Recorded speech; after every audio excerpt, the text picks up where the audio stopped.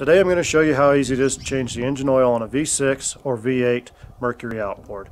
You're going to need a 5 8 wrench, a band style oil filter wrench, a drain pan capable of holding about 2 to 2.5 gallons of oil, a funnel, and a couple short lengths of half inch inside diameter hose.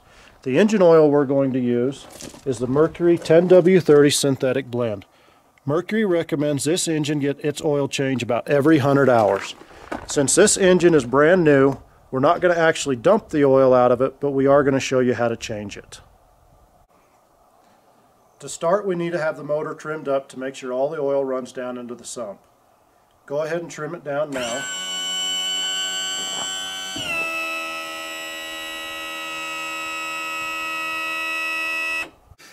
Now that the engine is trimmed all the way down, we can install this hose on this fitting and break it loose and turn it two and a half turns out. This should let the oil drain into your pan.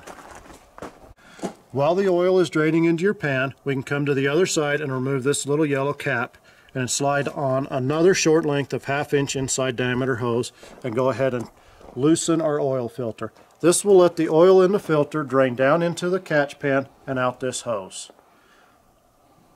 Once you've removed your oil filter, you need to make sure that this gasket here comes off with the old filter and does not stay on the motor. On your new filter, you need to smear a little bit of clean engine oil on this surface before you install it to the motor.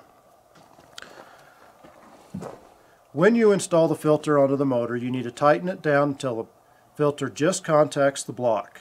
After it contacts, give it an additional 3 quarter to 1 full turn. Once the hose is removed, you can install the little yellow catch plug again.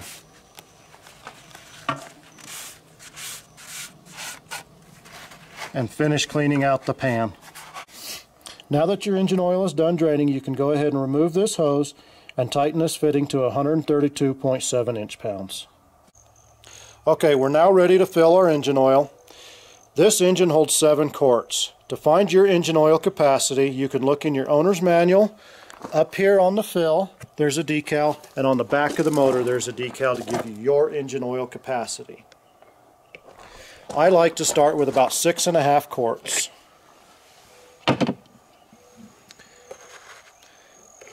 After I've put the six and a half quarts in, go ahead and pull the dipstick out and hold it horizontal and watch for the drips on the balls.